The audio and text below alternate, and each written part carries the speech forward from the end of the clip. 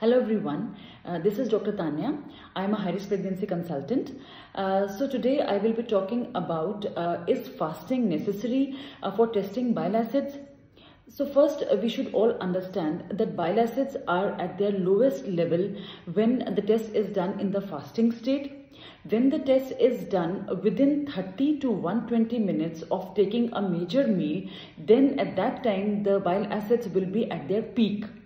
So it's not uh, whether they are done in the fasting or the non-fasting state. What is important is how you interpret the results.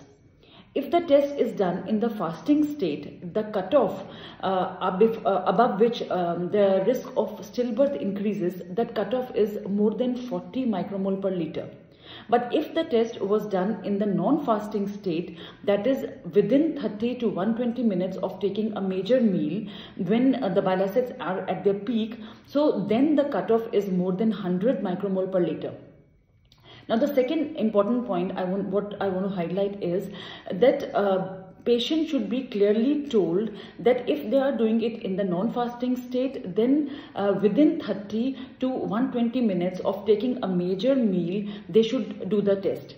If they do any time randomly in the day, any time they do the test, then it is of uh, no value and then the cutoff of 100 is not applicable. So it's applicable only when they are at their peak in the blood. So that is all. Thank you so much.